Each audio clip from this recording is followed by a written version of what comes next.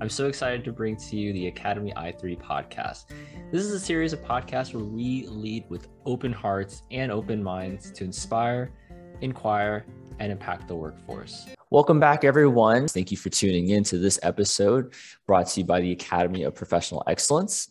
For this episode, we'll be focusing on the topic of trauma informed.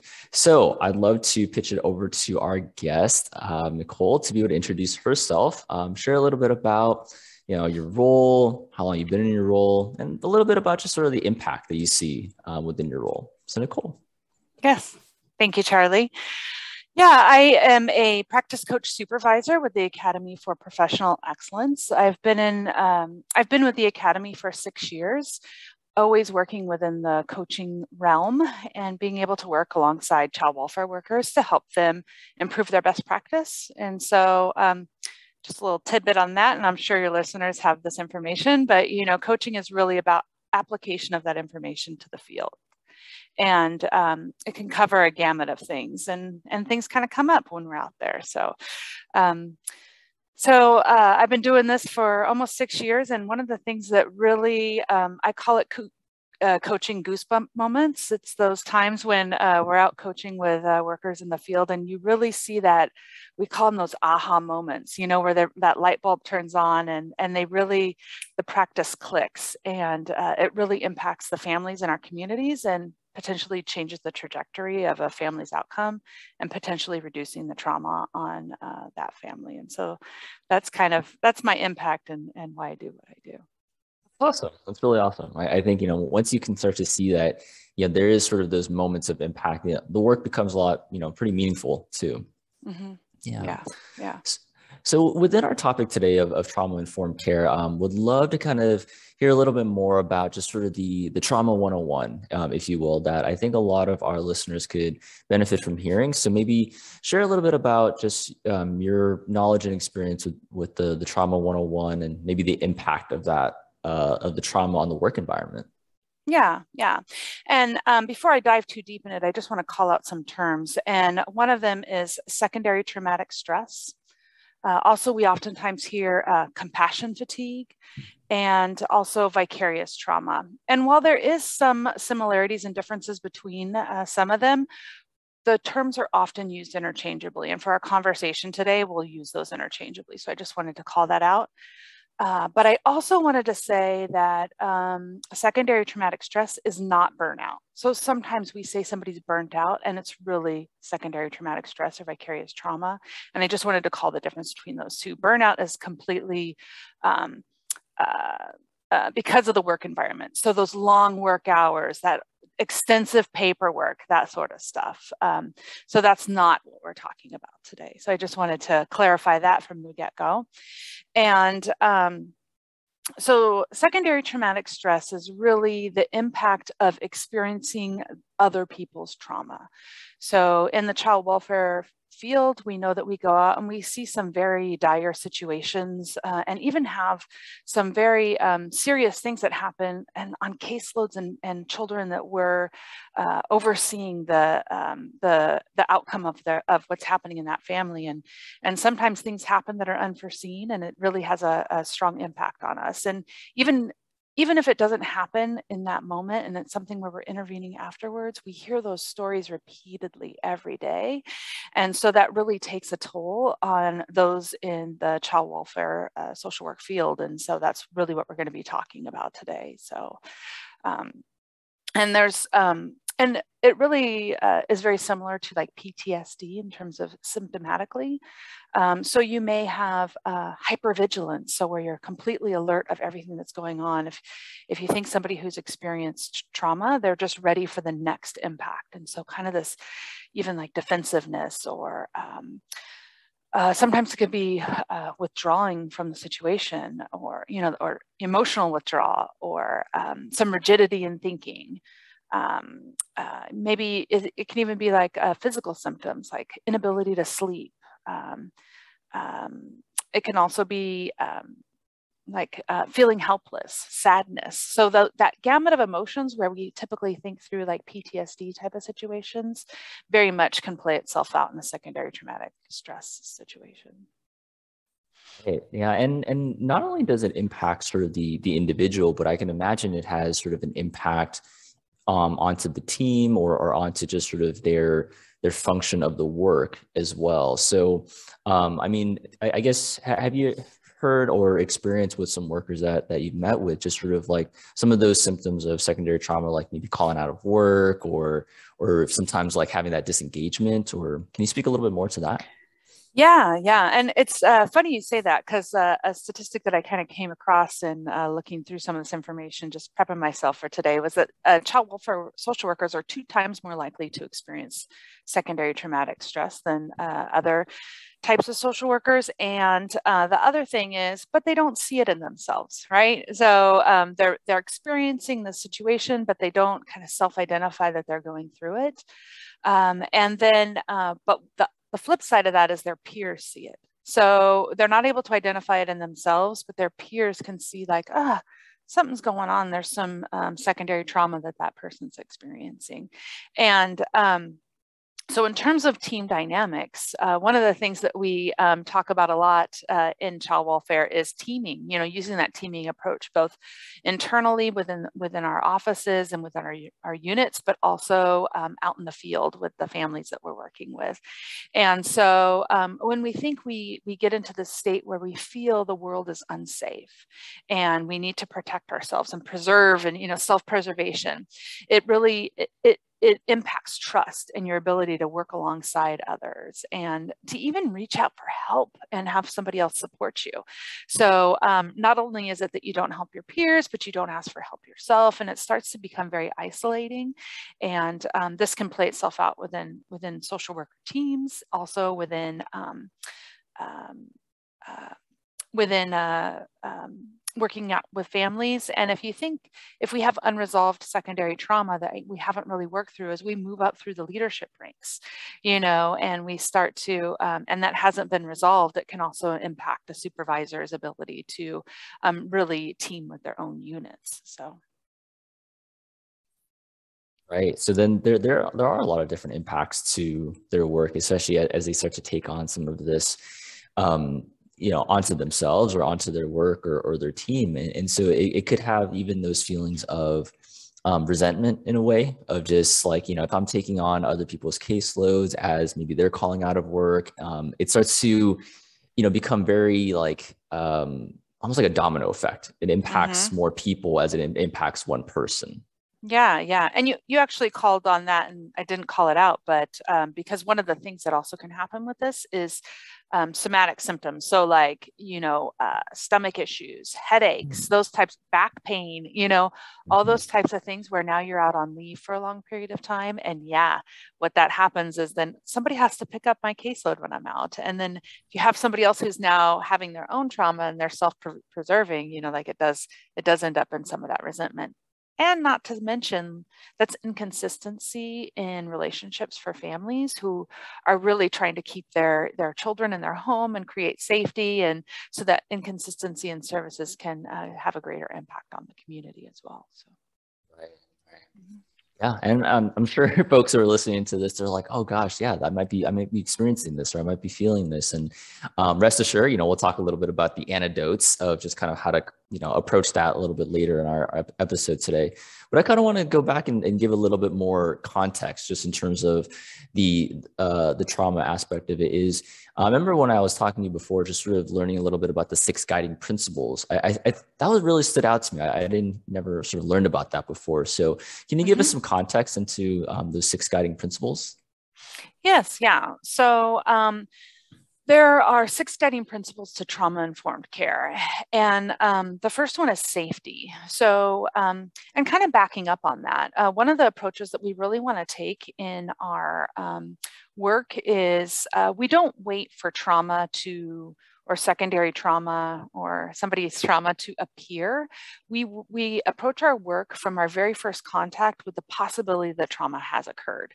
And so what that means is that we don't um, evoke a reaction in somebody that might um, that might impact them because of their traumatic experience, because we are using these six guiding principles whenever we work with our peers in the work environment or out in the field. And so that just reduces the, the uh, possibility that we uh, might impact somebody negatively because of their traumatic experience. And so we always want to use these six guiding principles in everything that we do because we are using that, that um, we are using that uh, idea that there's a possibility that trauma has occurred here. So it's almost like a rule out as opposed to a rule in, right?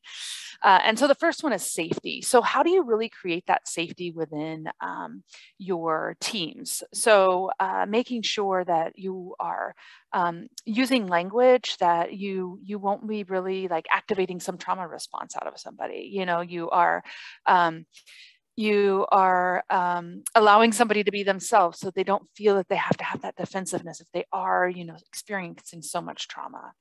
Uh, another another guiding the second one is uh, trustworthiness and transparency uh, so uh, things that are unpredictable might cause a, a, extreme anxious anxious response in somebody who doesn't know what's going to be happening next. Um, so telling somebody as much as you can with the information that you have, being as transparent as possible, um, making it, it gives people predictability in their environments, which which people really need if if things have been so topsy turvy and like unable to really know what's happening next. So even if it seems like it's over communication, that uh, is very helpful and um, and then that's you know just being trustworthy like keeping your word saying what doing what you said you were going to do. If something happens that's unforeseen that you didn't expect to happen you go and you communicate that. I didn't expect that this was going to happen. I know i said i was going to do this but i have new information now. So that's that second principle. Um, the third one is peer support so uh, we oftentimes in child welfare talk about our safety networks for families, but social workers also need them. And really thinking like who is in your circle of support? Who can you rely on? Um, who's that person or people who you can really trust to lean into? Um, collaboration and uh, mutuality. So having a shared responsibility, you know, being able to lean on one another, understanding like you'll scratch somebody's back sometimes while they scratch yours back, right? So we're all in this together to be able to um, to approach this and anything that we can do as a team is really um, a, a, guiding principle and trying to encourage that within the work environment. The next one is empowerment and choice. Uh, so allowing people to have decisions over what happens within their work environment. And we, we want to apply that to families as well as within the work environment. So um, you know, giving people choices over what's going to happen and getting feedback and uh, empowering people in the environment they're, that they're working in. And then the last one that's on there is cultural, historical, and gender issues. So really, you know, applying that individuality to that situation based upon where that individual is coming from, from their own cultural background. Um, so those are the six guiding principles that really we want to be using at all times that we're um, uh, working with uh, both in the office and out in the field. Nice. Yeah, that definitely gives us some good foundational foundational knowledge and good context. Um, so, you know, before we do go into sort of more the the antidotes or, or more of the different ways we can, um, you know, support our, our workers or, or have our workers support each other, um, was there anything else you'd want to kind of bring up, um, just in the terms of the, the context or the foundation behind the the trauma informed care? Yeah, I think the other thing to uh, just keep in mind as we're thinking through this is that the person who's experiencing that trauma, trauma or crisis, they really define it for themselves. Mm. So um, you may say, hmm, that incident didn't seem like it was that big of a deal. I don't understand why their response is this way. Uh, we don't understand individuals' background or um, or or context of what they're applying to that. So, you know, there may be something where it seems like a minimal incident, but that person really reminds them of their grandma, and that just hits a little too close to home.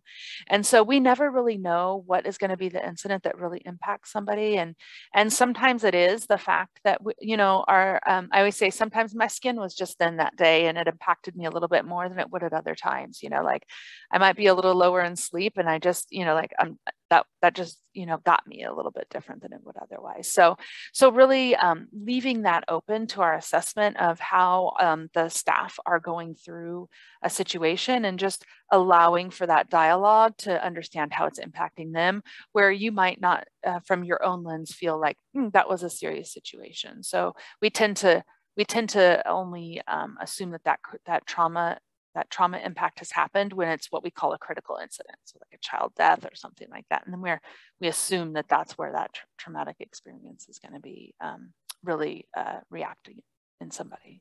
I love that you mentioned that because it, it, it does bring in that sort of like parallel process that it, it comes into play where maybe we're interacting with with families that um, something was activating for them that day or so like a conversation kind of led that and then sort of the impact comes up and it, it also parallels to maybe how when say the supervisor is talking with their worker about a case and something about that case really activated something for the worker and so being mm-hmm. able to kind of see that there's so many different impact points um, where that can come up and that that crises or that impact um, shows up differently for each person. And so being able to honor that it does have a different impact and that we can sort of um, able to have that conversation with them, that openness with them to explore, you know, what, what was happening for you there? What, what was coming up for you? Mm-hmm, mm-hmm, mm-hmm. Yeah, yeah, definitely that those open dialogues, those open-ended questions, you know, making sure that we're providing space for that that conversation is mm-hmm. yeah. Great. So yeah, let's let's start to really give folks, you know, what are some ways that they can approach this in, in, in trauma informed care so that they're able to have more capacity to be able to really approach their work. So I know a lot of times it's being able to develop some of the, the slowing down parts, being able to heal, um, being able to have some, you know, extra resilience sometimes going into the field. So um, what are some aspects that you can share around just that and some anecdotes? Yeah, yeah. Um, I think uh, if I if I want to kind of lay some groundwork for the first first thing is that uh, I think in this field sometimes we have a fear that if something's impacting us that somehow it might communicate that we're not cut out for this work right? And so sometimes that's the first barrier to get over is that we need to say hmm, this one's really weighing on me. It doesn't mean that i'm not that I'm ill equipped for this position. It doesn't mean that I, you know, have to make some major decisions about uh, uh, where I'm going in my career field. It may just be an indicator that we need to slow down for right now and heal ourselves and be able to move forward later. So I just wanted to call that out first that we need to have that acceptance from the get go. Um, and with that, we want to have some open conversations around self care and vicarious trauma. Um, and um, you know increasing our self-awareness when we talked earlier about like that peer support we want to be able to um, lean on our peers to gather feedback and like how we're handling things. If you remember you know just a few minutes ago i mentioned that uh, it's extremely likely that this happens to this to workers in this field but they don't see it but their peers do you know? So being open to um, seeking that feedback from others is extremely important so that if you're not seeing it at first you you um, you are um, seeking that feedback. Because how it might come out is, wow, I have really difficult families on my case right now. I just can't believe all of the families are extremely difficult right now. And that might just be your emotional shutting down of withdrawing from engaging because of a traumatic response, you know? And so, um, so it can look like, I've just been dealt a, a rough hand right now, but you might not really see that that's what's going on. So being able to seek that peer support. Um, and then one of the other things is um, taking into consideration um, leadership and their own experience with trauma. And I know that I mentioned that a little bit earlier, um, but making sure that um, that trauma gets resolved. So if if we have a situation where we're like, oh, I don't want to, I don't know if I want to deal with this, like it might mean that I'm not cut out for it and then we we never resolve it and we kind of move up through the ranks and now your role is to support your own staff and their own trauma. And hearing those stories just reinvokes some of that traumatic situation that maybe um, you as a supervisor has gone through and have not healed from. And if your walls are high and you're not wanting to really feel some of those emotions, it might really impact the ability to um, to um, support your staff. So even if you're in that leadership role and you're not going out and you know doing some of that work, the need to heal yourself also is extremely important. And so, you know, just calling that out too. Um, and then, um, so uh, when we say like, uh, you know, the idea that we don't want to really um, say like, oh, I'm worried that this is impacting me, that leadership really, uh, you know, um, um demonstrating self-care is important.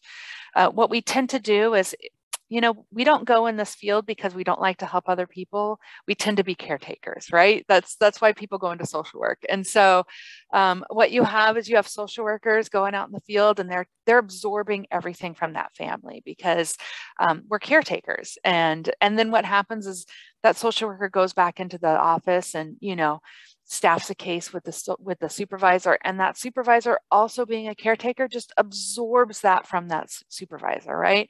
And so as opposed to um, really thinking through what we need for ourselves we tend to absorb absorb what others need um, because that's we're helpers you know like that that's just what we do that's what drew us to this field and so really making sure that leadership is dem demonstrating self-care and expressing vulnerability saying this is something that's hard for me to handle i need to take care of myself and really you know slow down for a little bit so that i can come back as a whole healthy employee here um, also demonstrates that unit like that's okay that's okay to go out for a little bit and you know take the afternoon and really center yourself because what you've dealt with is hard based upon your own experiences. So that's another antidote just that um, having self-care demonstrating self-care um, and vulnerability. Um, and um, being being aware of the symptoms of vicarious trauma. So we mentioned some of those earlier. They might come out as and and when i when i said earlier oh, burnout. We, we hear, oh, she's just burnt out. She's just burnt out. He's just burnt out, right? And so um, sometimes we we mislabel uh, secondary trauma as burnout, and um, and that's not necessarily what it is. And so really being aware of those symptoms that it can come out, you know, um, behaviorally, it can come out cognitively, it can be some ruminating thoughts, right? That just kind of continually going through your your mind it can come it can be um, emotional that sadness anger depression. It can be um, physical that back pain that headache you know uh, getting sick you know things like that that maybe we're not labeling it as um, secondary trauma vicarious trauma but it's really something that we need to be aware of. So if, you, if you're not feeling wellness maybe slow yourself down and really think hmm, what's going on here? What what is uh, what's happening because uh, it might not even be that a certain case or referral is coming to mind a lot. You just suddenly start experiencing some symptoms, and unless we slow ourselves down, we're not really realizing that. So. Well, yeah, a lot of what you're talking about is, is almost a sort of shift in shift in culture, both from the, the the leadership standpoint where they're allowing sort of an openness to be able to kind of bring this up or an openness to be able to talk about hey you know like i, I may be experiencing this um, but also mm-hmm. like i'm modeling what it could look like to to have self-care or modeling what it could look like to be transparent and open in, in discussing this um, mm-hmm. um, so there's a shift in culture on the leadership standpoint but also in a way a shift in culture on the worker where there becomes more of an increased awareness because um, a lot of times even with you know, um, mental health, for example, like just having an awareness of, you know, aspects of symptoms or aspects of, hey, this is what's coming up for me. Mm-hmm. It gives a mm-hmm. little bit more of that control of, okay, now that I've identified like this is happening to me, mm-hmm. I can mm-hmm. actually approach it. I can actually make it tangible to be able to work through. Mm-hmm. Um, mm-hmm. and then it becomes a, a point where just having more of a of a consistency of, of checking in or a, uh, a consistency of um, like having that you know time with the supervisors say like hey you know like you know you brought this up last week or two weeks ago is that still happening or is that still showing mm-hmm. up for you so mm-hmm. i think mm-hmm. it builds just sort of this culture of like care for one another mm-hmm. Mm-hmm. yeah absolutely absolutely yeah nice nice so yeah i mean i think you know given a lot of good details in terms of what trauma informed care looks like, the foundations behind it, the statistics, and even the the antidotes that that are going to mm-hmm. help with that. So, mm-hmm. um, as we kind of start to to get towards the tail end of our episode today, are are there any like final takeaways or last words you'd like to share just on this topic for our, our listeners? Yeah, yeah, I think you know think of some think of some questions that you can regularly ask one another to really just slow yourself down and approach your work with that um, that um, you know mindset from the get-go that that trauma may have happened here and what are some questions that you can ask of though your peers your um, those who you supervise those who are around you um, to um, be able to um, allow that open space and dialogue for it. I mean, a simple question would be like, what's um, what's on what's on your mind a lot lately? You know, like what what what's bothering you right now? You know, like those types of things that are just very open questions. Um, what cases keep coming to your mind? What cases are uh, are you can't you can't stop thinking about right now? You know, like those types of things and it may be the simplest one and you, and you don't really know but really keeping those dialogues open as opposed to how are you handling that critical incident because um, we're ruling all the other cases out um, so just you know having those open dialogues and and being self-aware and leaning on peer support so i think is is really important Awesome. Yeah, I mean, I, I, definitely what I heard there is almost like beyond just checking in on the case, checking in on the person. Mm-hmm, mm-hmm. Yeah. yeah, yeah, yeah. Cool. Well, thank you. I, I really appreciate our, our time together today and being able to, you know, hear a lot about your your experience and, and just sort of the, the background that you have um, in working with folks in, in terms of this trauma informed care lens. So, you know, thank you for for being on with us. Um, definitely want to say uh, to our listeners, you know, thank you for tuning into this episode, and we'll be back with you next time for another episode of the Coaching Corner podcast. Thank you all. Okay, thank you.